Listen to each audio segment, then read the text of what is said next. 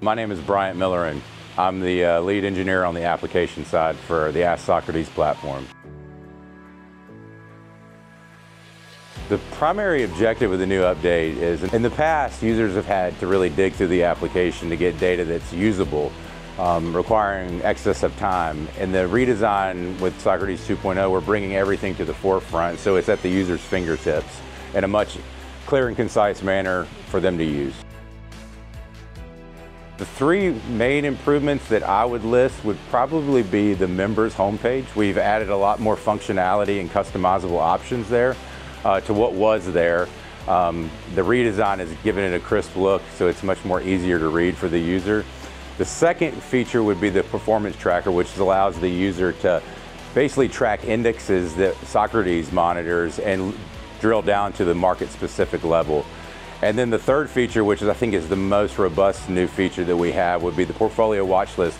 This is only for our enterprise users, but allows a user to upload their portfolio on a custom weighted level and it essentially creates a customizable market within the Socrates platform that runs against the models each night. This gives them customizable reversals and arrays data that is specific for their portfolio and the weights they desire to have it run at.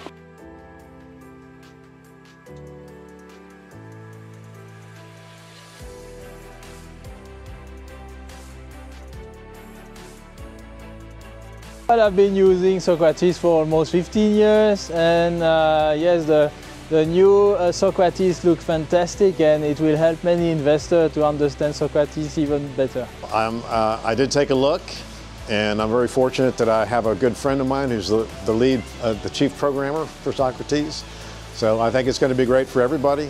Uh, it's, it's a good visual and it lays out everything in an understandable way. The, my impressions are uh, I don't know how to say it, um, magnificent in the sense that as it is, um, I find myself in multiple screens switching back and forth.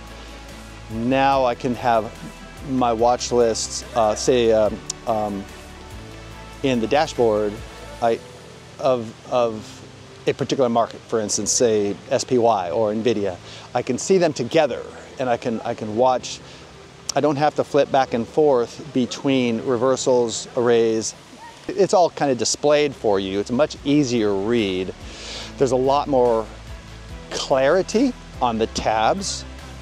Um, so, so I find it to be very good, very excited for it. Looks like it's going to be a lot more user-friendly. I think it's really neat. I think uh, it's more integrated than it was before and, uh, and, and a little bit simpler to use in certain respects.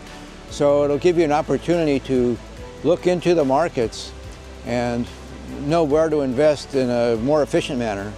I think it's exciting, it's something to look forward to, and they're improving upon it. So uh, I can't wait to actually use and see what uh, the new details will be here after the first of the year.